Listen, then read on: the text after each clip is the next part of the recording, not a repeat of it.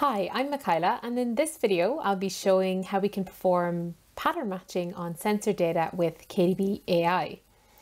And before we dive into the example, I just want to mention if you want to follow along with this video, you'll need to do two things. The first one is to sign up for a free KDB AI account. You can go to kdb.ai to get access and just click the sign up button in the top right hand corner. Once signed up, you'll have your own free KDB AI database where you can connect to. And if you'd like some more details on that sign up process and to find out more about what the screen shows once you're logged in, you can check out the video linked below. The second thing you'll need is a link to the example and dataset I'm using, and this is available on our GitHub. And you can get there by clicking the link on Learning Hub. You'll see it pops up here with a button to download on GitHub. That's it, that's all you need. So let's get stuck into the example. We'll start by understanding what we mean when we say pattern matching and, and why we might need it. So collecting and analysing time series data is really fundamental across many enterprises. And in this example, we're going to look at one such use case, gathering sensor readings in a manufacturing plant. So if we take the scenario where an event occurs, like a breakdown of machinery, how could we retrieve all historical time series that might match that pattern, for example?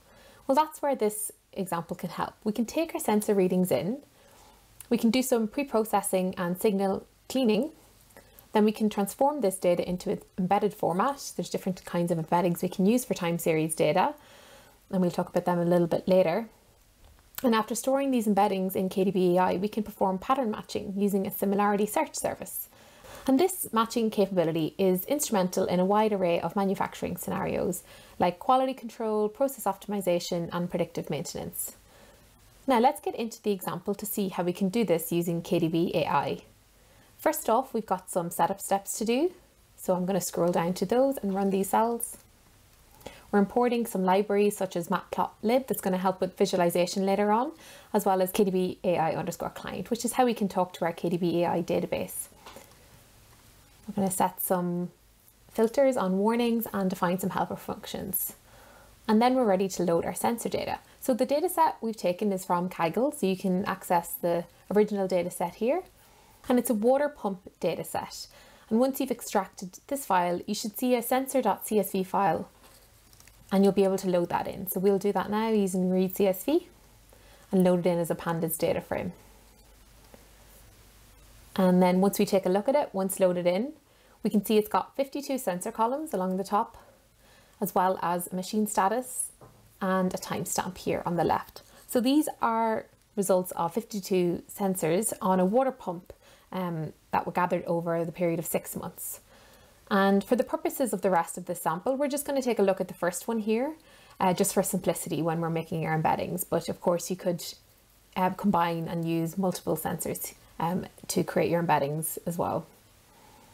Okay, so to start off, we're going to do some pre-processing like dropping duplicates, removing columns we don't need, converting our timestamp to a datetime format, and just removing any NAN values.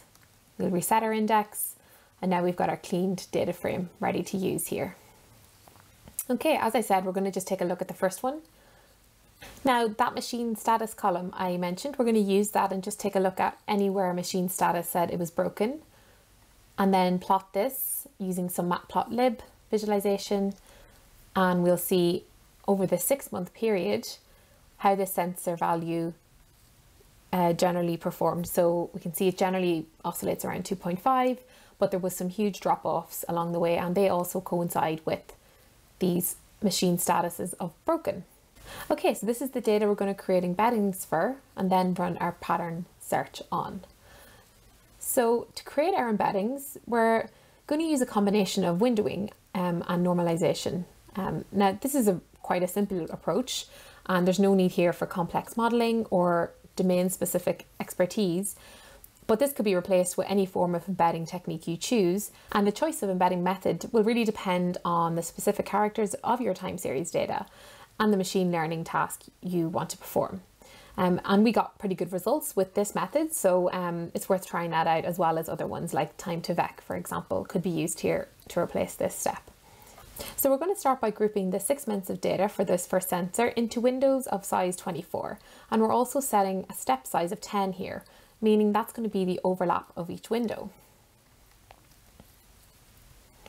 And if we define this then as a windows, and we take a look at the windows variable we've just defined as a result of this, we'll see what we get is um, 24 values starting from the very first one to the 23rd index here. We've got those values grouped and then you see our second window here um, is the next set. And it's interesting to note here, because we set our step as 10 up here, that is why our second window is starting at 10. So there is an overlap here. So next we can iterate through each of these groups of windows, um, extracting the start time, the end time, and the list of those 24 values we've seen. So if we do that here, we can then create a new data frame of these values where each row is one of those windows. So if we run that and then take a look at our data frame, we see we've got from 0 to 23, which is 24 values here, all listed in one row and then moving on to the next window and so on. Okay, now the time series is split into overlapping windows um, and that means we can treat each window as a separate sample. We're going to apply a normalization and this ensures that the sensor values are scaled uniformly between 0 and 1, which is better for further analysis when we're saving these values down to KDB AI. So we're defining a function called normalize vector to do this. And we can see once we've ran that, our vectors are oscillating between 0 and 1. Okay, that's it. Our embeddings are ready. Um, we're going to save these to KDB AI in the next step. So we'll need the KDB AI URL endpoint and key from the cloud portal, which I showed at the beginning. And we're going to connect these using the session command. So if you haven't got those yet, you can go sign up at kdb.ai, like I mentioned at the beginning of the video. I've set this beforehand just so that my credentials are kept private. And we can move on to defining our table schema. So this is where we'll select the kind of in index and metric that we're going to use for searching, as well as defining any metadata that we want to add. So we want to add two se separate columns called start time and end time, capturing the beginning and end of those windows. That will just make it nicer to filter later on. And then we're also going to define our vector column here. So when defining our index, we need to make sure to use a dimensionality that is the same as our window size, which we are doing. We also specify our similarity metric at this point. We're using L2 here or Euclidean distance. And then the last thing we need to do is set the index. So we're choosing to use the HNSW1. So for more information on these types of metrics and indexes, you can check out on kdb.ai. We have specific articles on all the metrics and indexes you can use as well as our documentation site. So let's define this. Now we have an extra cell here, just checking if the table already exists. I've run this sample a few times before, so it might exist. So I'm just gonna run this so it will delete it. And then we can create our table using create table function. And we're gonna give it a name sensors and pass it that schema we've just defined above. Now we want to insert our data to this table. And it's a good idea to check the size of your embeddings data first, um, as if it's really large, it might be best to add it in chunks. So if we have a quick check here, we'll see it's around four megabytes, which is fine. So we're gonna add that all in one chunk into our table. There's steps in our documentation site on how best to chunk um, if that is something you need help with, if your data set is a lot larger, just to be aware of. Okay, now our data has been added, we can query it and we can see we now have our data persisted in KDB AI. Great, so let's perform our similarity search on our historical data. The first step to do this is selecting a historical pattern that we're going to use as our query vector. And in this one, we're just choosing a random start time of like 1 p.m. on the first um, of the fourth. But you could change this to be any time window that you want. And we're going to select the historical pattern as well here. This is just for visualization, so we can take a look at it before we run our search. So doing some matplotlib functions here, we see this is our query pattern. So this has got 24 points in it. It's our vector and it's oscillating around 2.45. So um, this is a pretty stable period in the, the pattern. Now you could change this to be any pattern you want to search for. Um, but let's start with this one. So to do search, we can simply use the embedded versions of this pattern. So we can select that. We do this above here, just selecting from the embedding data frame we created. And we're able to run search on that against KDB AI. So we're asking for the five nearest neighbors here.